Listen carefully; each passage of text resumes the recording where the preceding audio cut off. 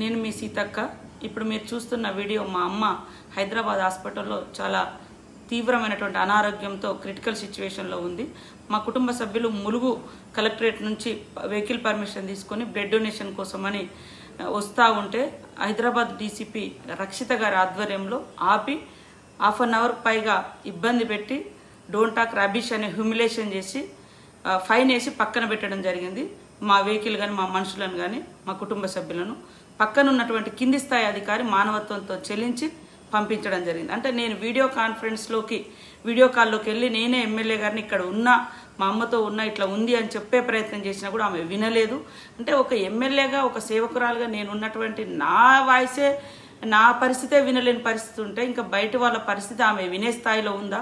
ఎవరైనా కూడా అక్కడ వాస్తవం ఏంది అని క్లారిటీ తీసుకునేటువంటి ప్రయత్నం కూడా చేయకుండా అన్నింటినీ ఈ రకంగా ఆపడము అందరిని ఇబ్బంది పెట్టడం అనేది కరెక్ట్ కాదు. వాస్తవాలను తెలుసుకొని కనీసం మానవత్వాన్ని జోడించి పనిచేయాలి. ఇలాంటి అధికారులు ఉంటే ఎంతమంది ప్రాణాలకు ముప్పు ఉంటుందో అర్థం కావట్లేదు. కానీ అదే కింది స్థాయి అధికారి అర్థం చేసుకొని పంపించడం కానీ ఆమె మాత్రం పంపించలే హాఫ్ అన్ అవర్ తర్వాత ఆమె డ్యూటీ నుంచి అక్కడి నుంచి వెళ్ళిపోయిన తర్వాత ఇంకొక అధికారి ఎంటర్ అయి ఆ వీడియో కాల్ చూసి ఆయన పంపించడం జరిగింది. అంటే ఏం జరుగుతుంది అసలు మాన కామన్ పబ్లిక్ పరిస్థితి ఏందో ఇలాంటి అధికారులు ఉంటే ఎంత ఇబ్బందికరంగా ఉంటుందో ఒక్కసారి అర్థం చేసుకోండి.